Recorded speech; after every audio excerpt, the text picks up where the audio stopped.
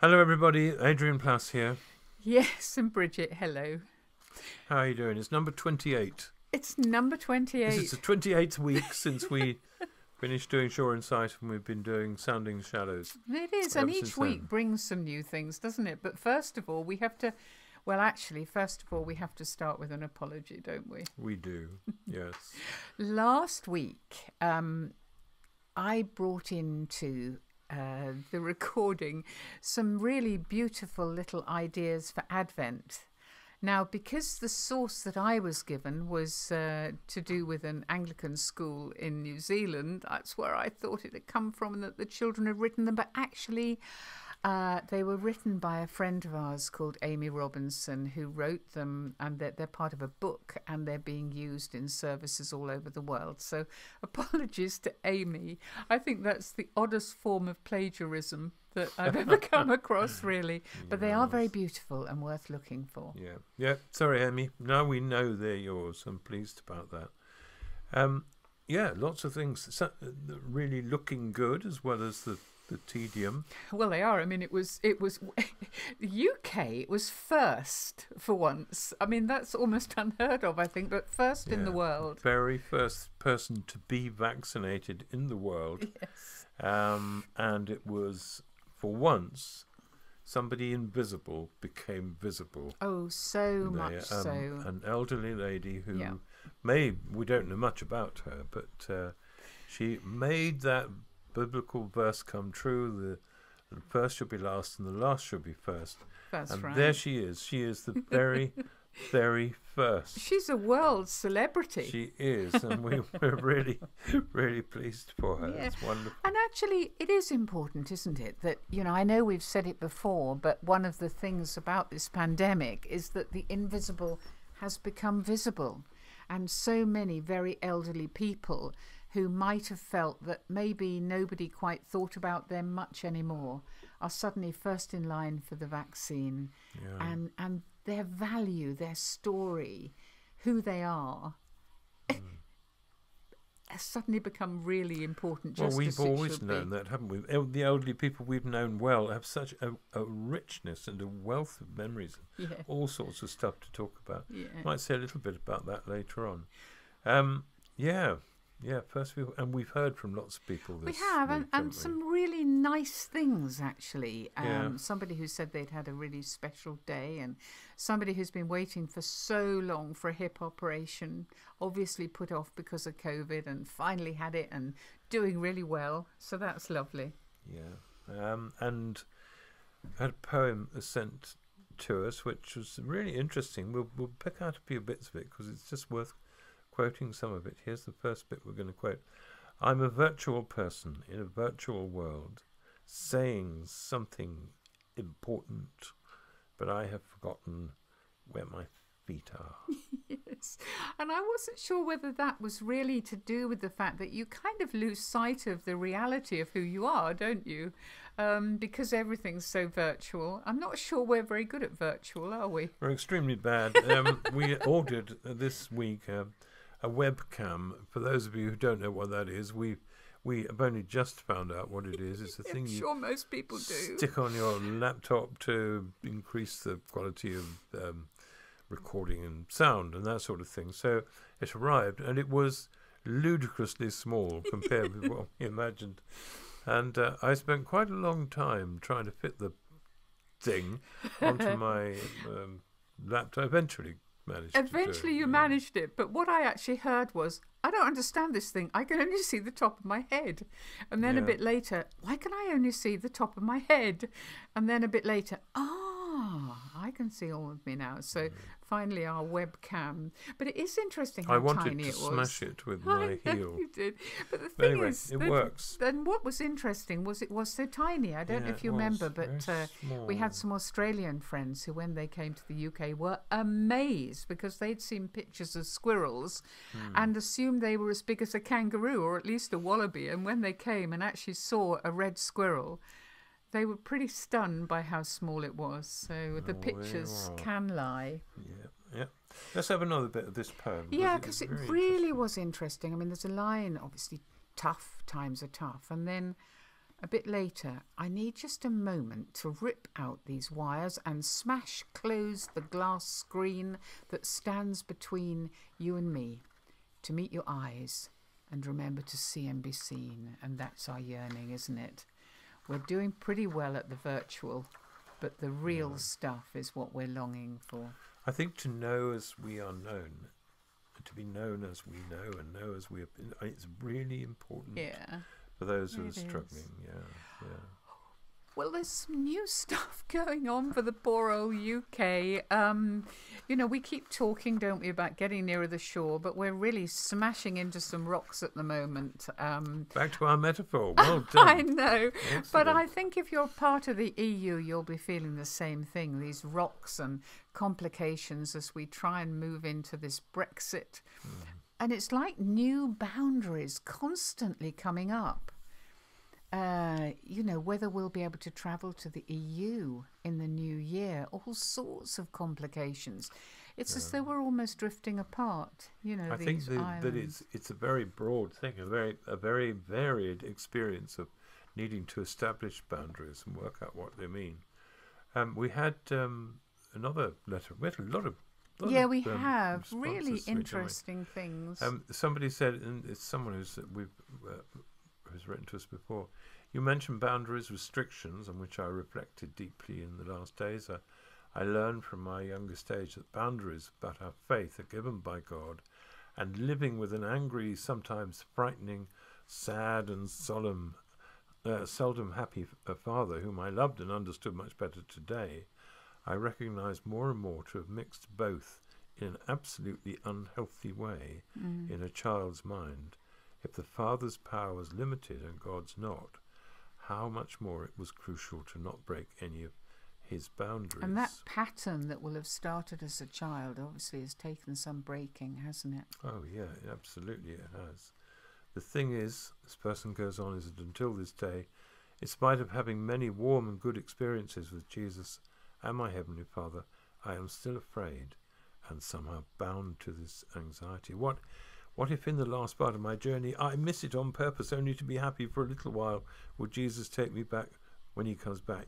Yes, there is forgiveness, and I certainly want and can honestly only be happy when God is blessing it. But still, there are many Bible verses that frighten me.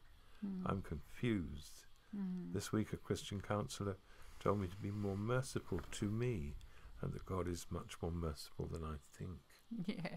Well, I think that's something you've really been saying, isn't it, for over 30 years that God is nice. Yeah, and uh, it's for me, it's it's the thing that has kept me afloat for so long. Um, and occasionally, as we, I think we've said, people have attacked that a bit and said that seems very thin.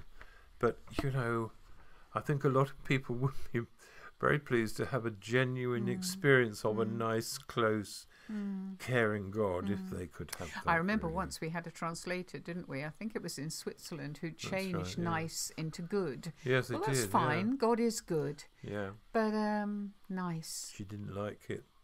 and I stopped and said, That's not what I said.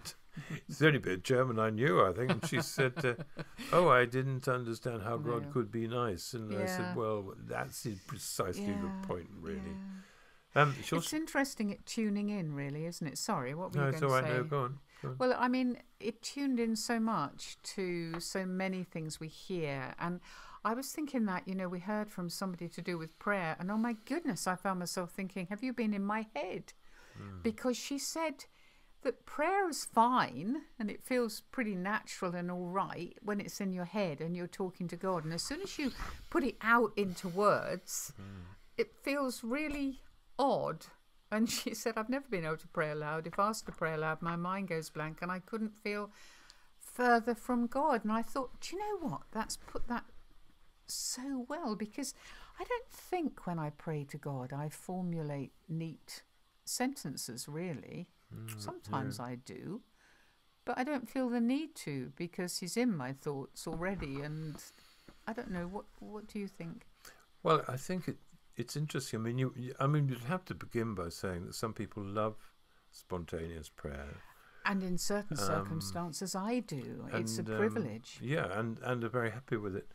but I know that a lot of people do find it extremely difficult. Yes. And perhaps it's the reason why, in the end, you either go for a beautiful liturgy, we've said this before, or the kind of inchoate, um, n- non fluent communications with God that happen in your own life, in your. Mm. The, the, I'll tell you the problem of people, people have said to me that I think is true that there, there comes a moment when, excuse our phone, there comes a moment when, um, when you pray in front of other people, it's it's I don't know what to call it except a sort of revelation of faithlessness out of your mouth. You're thinking, that's not actually how I talk to God, Mm. and and I feel as though I'm um, lacking faith because I can't do it in these in this Mm. circle or whatever. I mean, I think that's changed for us when we feel passionately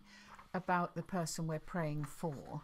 And also when we feel comfortable to know that we are simply sitting with that person and bringing them to God. But that's different, isn't it, from when you feel suddenly you're supposed to pray and then there's some very funny things happen. Yeah. Well, in the old days when I first started writing and I I was just sort of spraying stuff around, I wrote something about prayer because um, none of you will have noticed this, but the word just seems to creep into It prayer may, it, may, it may be changing, but It certainly be, at this yeah, time it was know. all the time. Although I have to say, in Germany they have an equivalent. oh, they do. They do, and it's just the same. Just the same. It's well, that's interesting. just the same. Just the same. Yeah. Okay. This is what I wrote all those years ago. This was this was the prayer. Okay, let's just uh, right now, as we sit here, turn away from the hurly-burly and the rush and bustle and the everyday concerns and the toing and froing and the ups and downs and the worries and the problems and the endless responsibilities and yesterday's regrets and today's anxieties and tomorrow's fears and uh, let's just uh, just uh, get into that peaceful state where we're just ready to just receive and just listen. Let's just keep silence for just a moment while we just uh, do that. Lord, we just want to just ask that this thing we're just going to do, I can't remember just what it is just at the moment, just that it really will be just really blessed in a way that's really just right. Really help us just to do it in the right way, and that all those involved will just really come to know that you just want to just really show them how you really just want them to just realize the truth about just understanding that you're really um, just. well, actually, you know, the this same writer tuned into another problem of mine because she was talking about the prayer circles that you find you have sometimes, and the idea is that each person prays as they go round the circle. Oh yeah. And and she was saying, you know, that the panic that sets up in her brain as she's trying to concoct what on earth she's going to say when it's her turn. And I thought myself that my problem always was that I find myself thinking, right, I could pray about. Oh no, she's taken what I was going to pray about, They all the he's best bits, yes, they? all the be- all the things that we've talked about beforehand. It's like a I sort of nightmare past the parcel. But actually, I remember just say, Oh, saying yeah. about that. I remember being at Easter People and um, being asked on, on stage. There were six people asked each one to to say why they were there. Um, oh no, uh, that's uh, dangerous with yes, you. What to you say to God why they were there, and they all took the best ones. And in the end, I, I said all for the money. And Rob Frost said, "Well, you must be being paid a lot more than the rest of us if you came here for the money." But yeah, no, you're right. You, yeah. Anyway, go on. I think it's breaking into these things, isn't it? And do you remember we inherited a Bible study group in a church when we were in Hailsham? I do. They'd yeah. had a, a Bible study group that had grown and grown and grown and needed to be broken in half. And we got half. And it turned out that all of them were really frightened and fed up with this sort of prayer circle idea.